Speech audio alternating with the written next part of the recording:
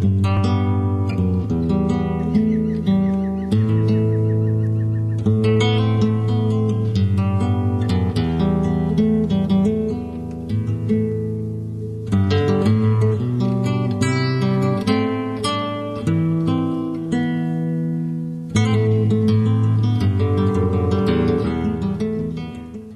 Innanzitutto sono molto contenta e fiera che sia un premio che è tornato in Piemonte dopo la, la consegna a, a, Damiani. Mm, per me eh, rappresenta un ottimo motivo per andare avanti con entusiasmo eh, e per affrontare così nuove sfide. Per una donna come nel mio caso, che lavora da 15 anni in un settore non facile come quello agricolo, vedere apprezzato e riconosciuto il proprio lavoro è sicuramente uno stimolo importante per guardare avanti e per vedere eh, appunto apprezzato lo sforzo, l'impegno eh, in un lavoro non sempre facile. Eh, io non sono autocelebrativa, non me l'hanno insegnato e quindi per me è un grande vanto, un grande piacere personale e anche penso e spero anche un motivo di modello per tante donne imprenditrici che hanno bisogno di eh, di avere la, la, forza e avere davanti l'esempio di qualcuno che eh, riesce ad andare avanti e a superare certe volte anche ostacoli. Eh, evidentemente il fatto di essere giovane,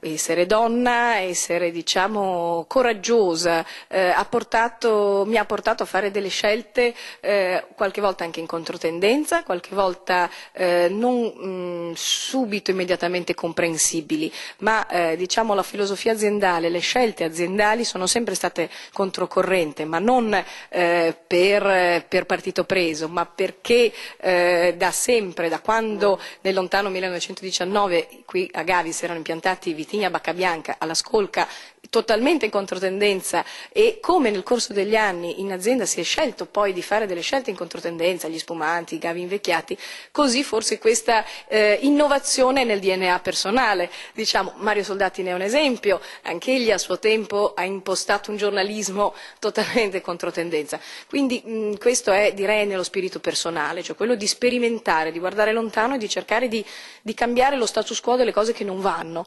Eh, ripeto, io sono sono sicura e convinta quando penso che, di avere eh, davanti un obiettivo buono e di cui sono convinta mm, mi ci impegno molto e vado avanti per la mia strada, cercando di, ovviamente di con, trovare consensi, perché secondo me è giusto condividere gli obiettivi non da soli, ma insieme ad altri.